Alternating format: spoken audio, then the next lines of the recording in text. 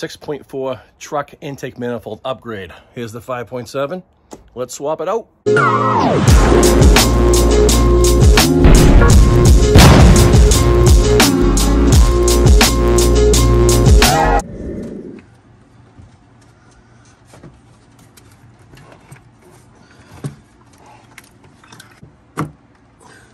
Yeah, this thing's heavy. Man, you would think you would think that the uh, the plug here for the actor the active runners would have a harness another plug on the harness. It would save so much. That was a, a pain in the butt. Now we know why Phil Holman was complaining about it. He had to replace his motor.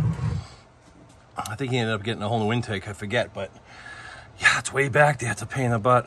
That's like the last thing you have to unplug when you uh, take this thing out.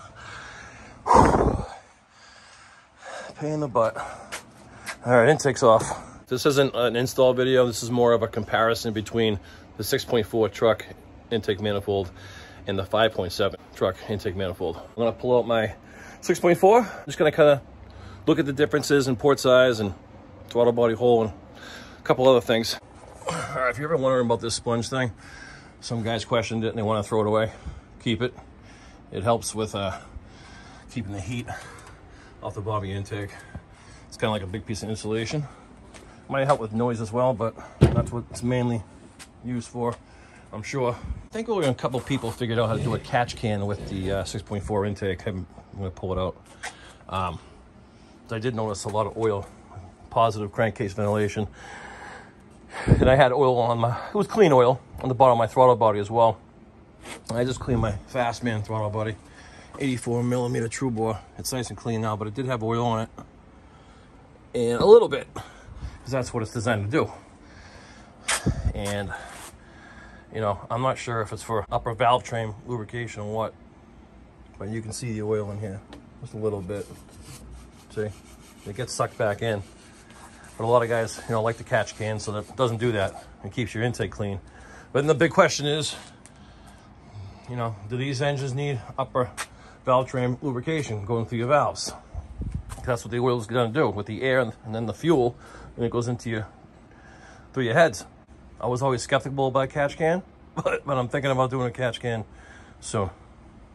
Try to do it on the 6.4 because I think that's why you know the pistons are have that kind of deposits on them. The oil's going in and it's burning up and causing, you know, deposits on the pistons. So I think with the catch can, it would definitely give me, you know, cleaner pistons. All right, let's first of all get that rag out of here because we know what happens when you leave the rag around. We don't, we don't want that getting sucked into the engine. You know what I'm saying? All right, so today I wanna, I got the 6.4 truck intake manifold. And I got the 5.7 uh, truck intake manifold. And I want to just distinguish uh, the differences. I'm to get my caliper out like I did with the heads and just show you guys the difference between the intake runners and the throttle body hole right there. But first, if anybody's uh, going to do this, I just figured this out myself, so I'm sharing it with you just to help everybody out who uh, is thinking about doing the 6.4 uh, intake swap. So real quick, uh, when you get the 6.4, you're gonna have to swap the fuel rails. That's pretty simple, because obviously your fuel rail, I have this capped off because I you know, keep the fuel from dripping everywhere. My whole bond smelled like for a gas station, but uh, so your fuel connects here. It's on here on the left side on the 6.4. So you just swap the fuel rails, just kind of take it, twist it, number one. Uh, number two, the motor for the active runners on the 5.7 is in the back. So you are gonna need an SRV connection that I got for Takamaya Sam. You got me one. So it connects to the front on the 6.4. And you, you are gonna need an EGR uh, block off plate for the 6.4, which is here. We don't have one on the 5.7. We have one on the 6.4, which I have, but you are gonna need something, a piece of carbon fiber, a piece of metal, something just to block that off. Also your map sensor, you're gonna have to take the one off your 5.7 and get it onto here.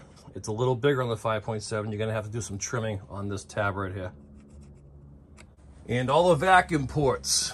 Uh, your evap hose is a small evap hose in the front on the 5.7. This one goes here. This is your brake booster uh, on the 5.7. That's actually in the back, so you have to extend that right in the back there. And the pipe that goes to your intake is here, and the one on the 6.4 is here. Uh, some guys put breathers on them or block them off. My intake supports it because I have a leg maker uh, mid-tube from Moe's Performance with the uh, 5.7 upper box, and I have a diesel lower box for more air. So I will be using that on the 6.4. The 6.4s have an internal positive crankcase ventilation PCV valve inside, so you don't you're not going to have this at all. This is internal and external on the outside, so you're not going to have that. And that's basically it as far as you know swapping everything over and making it work. You are going to have to modify your intake tube a little bit because obviously this one shoots up and this one shoots at around you know 10 o'clock, 9:30, 10 o'clock.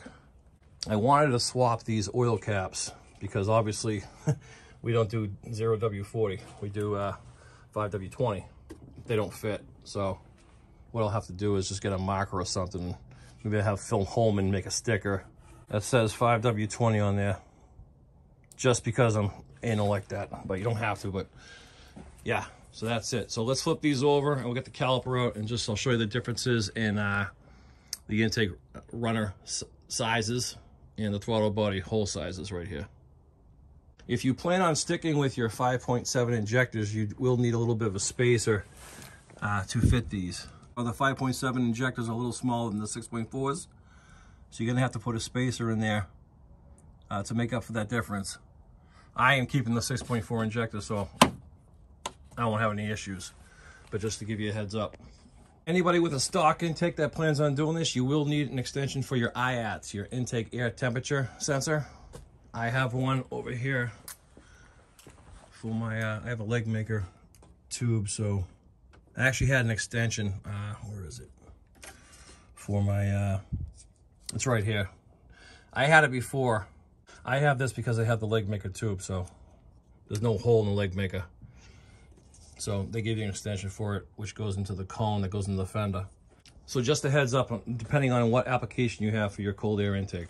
All right, something else I noticed when I was picking these intakes up, this is the 6.4. I don't know if it's me, if I'm feeling weak or something, or had a flash or what's going on. The 5.7, to me, feels heavier than the 6.4.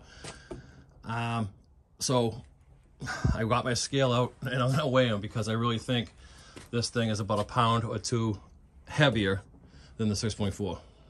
Let's let's throw them on the scale.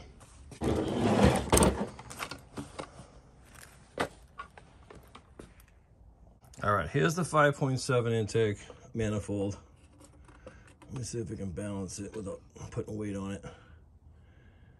All right, what we got? 23.4, 23.4. Damn, this thing's heavy. All right, and here is the 6.4 intake manifold. I don't even care if it's a half a pound. I know it's I know it's lighter. I know it's lighter.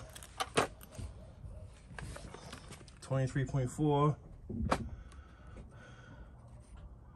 I knew it, man. I knew it. 22. it's 1.4 pounds heavier. I knew it. now I know why Kyle Tingley uses this. I knew it. That scale might even be off. It was actually a little less, but I'm gonna say it's it's about a pound and a half, two pounds lighter. This 6.4 intake manifold. It is. I just wanted to get that straight, and I figured I'd share it with you guys because I knew something was up. All right, guys, what I just realized is I went to flip these over and get my caliper out, and I just realized that this 5.7 intake manifold's ported. I can't do a comparison that way. So what I'm gonna do is maybe do a separate video on uh, Bruno's gonna, uh, he's taking this uh, 5.7 intake off of me. Maybe when he comes here, we'll take his intake off and I'll do a comparison then with the caliper. That's the only way I can do that. All right, guys, I hope you liked the video. Uh, subscribe if you haven't subscribed. Like the video and stay tuned for the next video. I'll see you in the next one. See you.